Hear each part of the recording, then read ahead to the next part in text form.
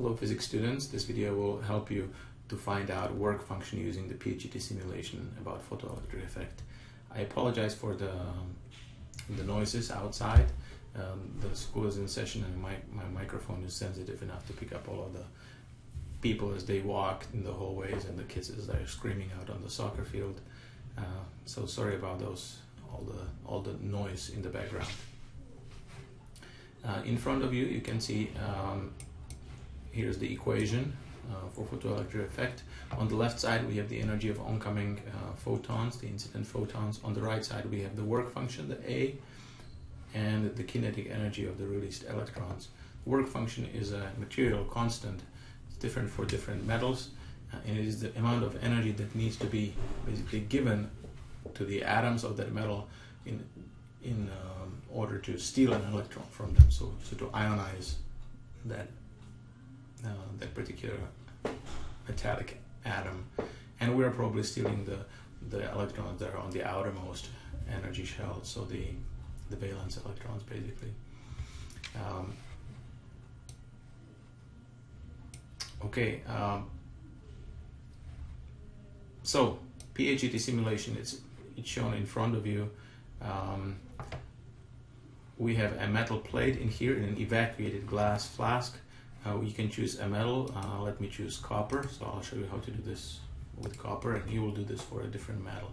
Um, let's increase the intensity so we're actually shining light um, on the metal plate. And right now you can see that none, no electrons are being uh, kicked out. Let's actually turn on the photons so you can see the individual photons are hitting the, the metal plate. Uh, at this particular wavelength, 400 nanometers, you know, which corresponds to a certain energy for these photons. The energy is not enough to uh, kick out any electrons. So right now the energy of the this on the left side, this is uh, it says h times nu. Uh, the nu is a Greek letter, but it basically stands for f frequency. So this is the familiar on the left side. Here we have uh, Planck's constant times frequency. This value right now, it's not large enough to kick out the electron. So it's less than the work function for this particular metal, for copper. Um, so as we decrease the wavelength or increase frequency at a certain at a certain point, okay, you can see now that electrons are being kicked out from the from the metal. Let me turn off the photons. Okay, so now you can only see uh, the electrons being kicked out. Some of the electrons are faster, some are slower. This probably has to do with the fact from which energy level the electrons were kicked out. The fastest electrons are the ones that require the least amount of work to be kicked out of the metal, and the slower ones are probably from the lower, more energy, uh, more energetic uh, shells on which the which the electrons were. uh, so uh, your goal or your, your uh, what you're trying to find out is the value of A in joules. Um, usually you find this in tables in, in electron volts, but um, because we haven't spoken about electron volts very much, uh, I want you to find it in joules. So what you need to do or, or the, the idea is that um, in the simple equation which you have here in front of you, uh, we know the left side because we know the frequency of this light and we know the Planck's constant. The frequency can be easily found from the wavelength. You know, the relationship between wavelength and frequency, um, they are related through the speed of light. Okay? So for this particular uh, wavelength, you can find the frequency and from that you can find the energy of these individual photons. Now, you will be able to solve for A if you can find out the kinetic energy of these, of these uh, kicked out electrons. And how we do that in the simulation is that we apply a stopping potential. There are two electrodes in here.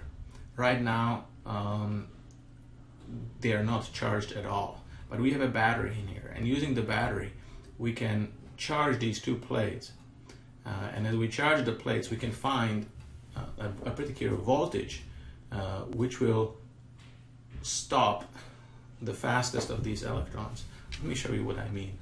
Um, as I notice that the electron sped up, this is because I made this uh, I made this right um, plate in here positive. So the electrons are actually being now at, attracted even um, to this to this plate, which is speeding them up. We want the opposite. So as I switch the polarity of the plates, you can see that now on the right side here I have the negative plate, and on the left side I have a positive plate. So the electrons are now being actually repelled back into the copper plate. So as I'm increasing the potential, you can see that less and less of the electrons actually make it into the to the to the negative plate. Um, you can actually switch here to show only the highest energy electron. There's a little tick mark that you can place in here. Now it's showing only the highest energy electron. These are the ones that we want them to come as close as possible to the to the negative plate. So right now I'm stopping them relatively far away from the from the negative plate. I want them to be able to come as close as possible. So I will actually decrease this negative voltage now. And hmm, they're still making it. So let's go back, let's increase it. Now we have negative 2 volts. Okay, they're still making it. Ooh, this is very close now. Um, so at negative 2.4 volts, they're almost there at the plate. Let's see if I can go to, can I get, go to 2.35? Let's see what's happening at 2.35 volts. You can see that it's we're very close now. Let's go to negative 2.38. What will this do?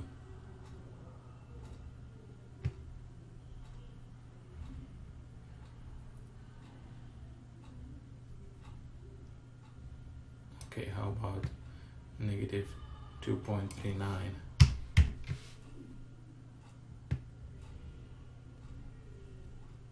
Am I going the wrong direction? I think I am. How about negative 3.4?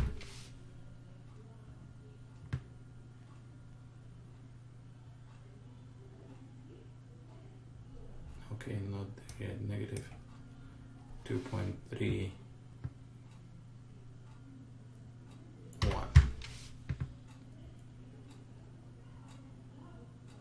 okay this is very very very close now. I think I'll just go with 3.0 okay at this moment I'm basically stopping the electrons right at the right at the plate. Maybe we can go to negative 2.9 2.29 I mean they should be basically almost touching the plate. Yes, they're almost touching the plate. So I will use this value. This is the, remember, um, voltage is energy per charge.